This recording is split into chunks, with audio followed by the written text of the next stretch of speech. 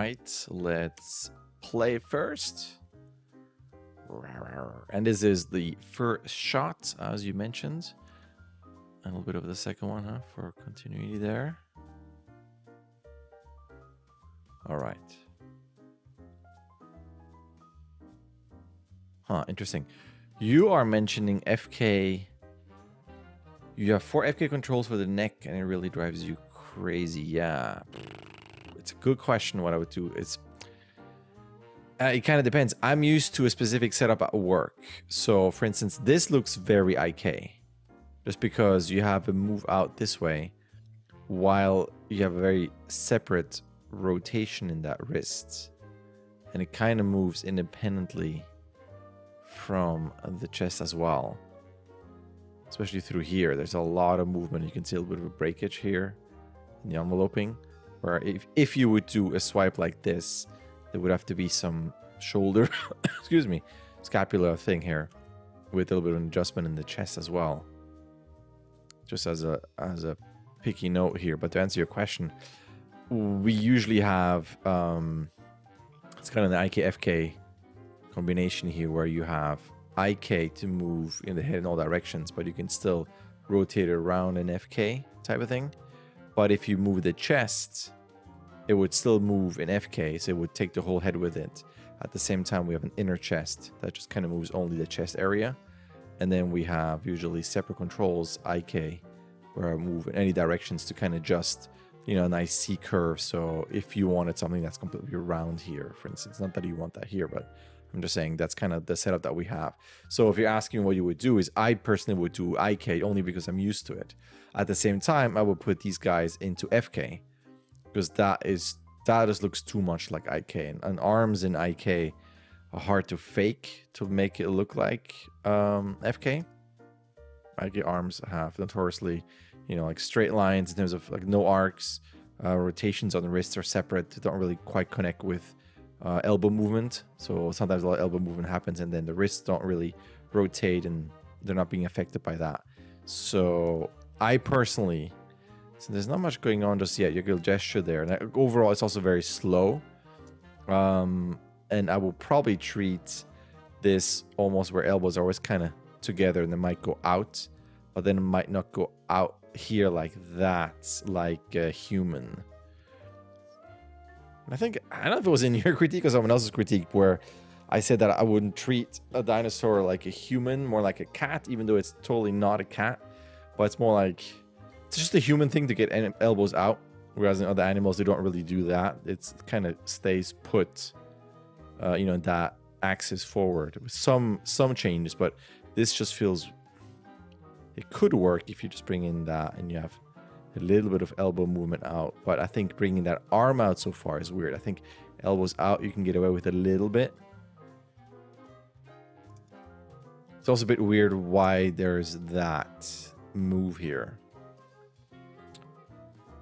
I would just, I would keep this pretty much around here. They're just little accent moves, and whenever the the dinosaur moves, you have a bit of a drag, and then come up and some adjustments in the claws. And this is mostly all about eating, because imagine you're gonna have piece here, coming up, hanging around here. Unless you know you're getting into something where it, it hangs here and it, wants to kind of grip it, um, but I think that's gonna make it way too complicated. So for me personally, I would keep these guys just pretty close to the body and just kind of react a bit. That's kind of like a drag overlap type of thing. And every now and then, maybe on here and that big, just kind of get closer to the body and tense up the fingers.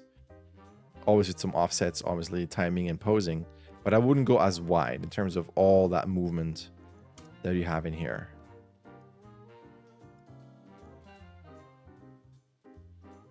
And then on that step back, it's kind of hard to see. I think you got something in there. I'm looking at just right around here on that step back that you have enough rotation up in the hips. I think the way goes back and then recovers up until around here-ish, 33, is pretty good. Like it has faster and then kind of slows down and eases in and reverses direction. Not too slow, not too fast. But then from here to here, if I just look at this section here, it's very straight. There's no rotation in the backside. The timing seems very even. So on a step like that, it's going to translate over that side of the hip. Hip can go up a bit this way, uh, depending on how broad you want to go. Technically, if this leg goes up, the hips would shoot up on this side here. But I would definitely have it at the very beginning. I can experiment with bringing that hip up a bit, rotate that in Y, and then once it's fully in the air, have a bit more movement up here in the hip, just for the weight transfer. And then as you take that step here, it's going to translate over to its right side. And again, with the hip going up this way, because all the weight will be transferred onto that leg. Same thing here. As you do this, you want some rotation in Y, some changes in rotation there, and a little bit of side to side. Not too much because it's a fairly straight on and getting into that meat business. It's not too crazy.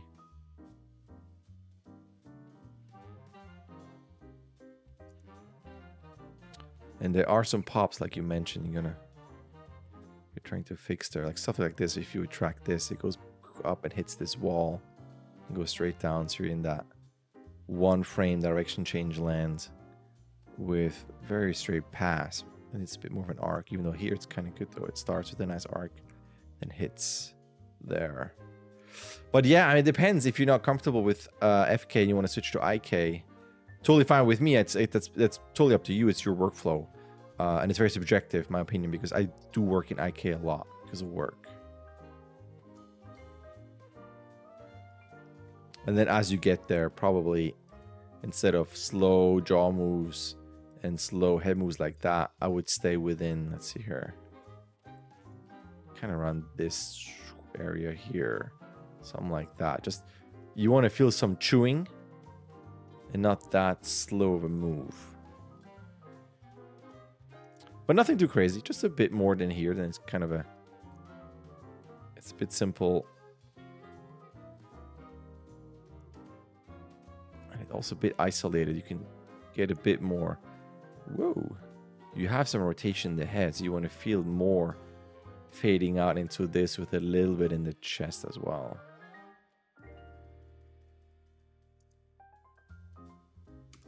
Uh, but that's it for that. Um, now you are asking how would I do it? I'm not sure what you mean. If how you will conserve your FK animation to get into IK. I mean, the thing you can do if you have a controller here, or you can set a controller like where wherever your um, IK controller is, right? If that's going to be at the same position with your FK, I don't know how that rig is set up, but I would assume so. You can always put a sphere here, constrain, point orient that sphere here, bake it all out. So then that sphere has all the tracking of the head. Switch to IK, which you know will pop somewhere. And then you constrain the IK back to that sphere, and it will have the exact look and everything of your FK move, your previously FK move, and then you can start cleaning up some uh, some arcs and pops. That, if that's what you mean, um, and then you're gonna say you're gonna add the meat later. I think that's it in your email. You're saying you're having a hard time with clean pops into your animation. Just don't forget that you, before you do anything in the head, because it sounds like you're starting uh, your problems with the head, with the arcs and stuff. Make sure that what I talked about here with the roots, um, I mean, at least for me, whenever I do cleanup, I go root, chest, head, and then depending on the action, leg and arms, human or creature. So in this case, whatever you're going to do now with weight shifts and rotations or whatever it is, I don't know how that rig is constructed, but it's probably going to affect the chest because of that, the head. So all of your arcs of your heads, your head moves are going to be all messed up. So I would get this really, really solid, all the weight transfer and the shifts and everything. And then the chest, how it reacts to this, and then ultimately the head. And then what you can do if you, it's pretend you like the head animation, and it is IK, you can constrain that. You can bake out that IK again on a locator or a piece of geometry so that it has all the head animation and then constrain the head to that object. And then whatever you do in here is not going to affect the head because it's constrained, like it's constrained to that. If that rig supports it like that. Sometimes if you do still move anything here, the head might move around and twist around because of a pull on the IK It's not quite sure. This depends how that rig is uh, constructed. Anyway, I hope that makes sense. And then the other guy here, it's a bit even there. I'm tracking the mouth here. You can see it. Uh, that mouth line is very straight. There's not much going on here, especially with an arm going forward. And then here's a lot of scapula, shoulder stuff going on, but not really anything in the head and, and neck. So it looks like it's an IK head or like a head align or whatever that controller is called, depending on the rig. That feels better. I like this here. But on something like this, there would still be some rotation, sideways tilt, and some up and down impact on the head. And then here it feels a bit loose again. Like there's such a move up here on that hand. That feels like it would have a bigger impact. I would again lean over a bit this way. And then lean back. Even if it's minimal. That feels good. This feels a bit weirdly separate. Also, your arcs, you know, like your IK feels like it's doing this, and then down. So watch arcs, and then here I would get a bit more rotation in the chest, but then definitely in the head. You have stuff here. This, I don't know if that's the chest or just the shoulders, but whatever it is, you gotta have the same thing uh, affecting the heads. If this pulls up here, the shoulder or chest area, it the head orientation is still going to change down this way just enough to feel like there's an influence. And then if you go here, a little detail, put your hand over there, that feels a bit broken there.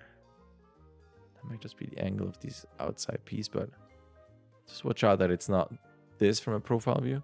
But as you go over there and especially lift this arm up, all that tension is here so that you would also uh, have the fingers dig into that side there just for tension gripping. Which then would be reflected here. Stronger, stronger grips. All right. I would say that is it. Uh, and yeah, thank you. All right. There's an email. You can sign up. You can start whenever you want. You can submit whenever you want. You get 16 submissions. Either way, a like and subscribe would be awesome. All right. Thank you.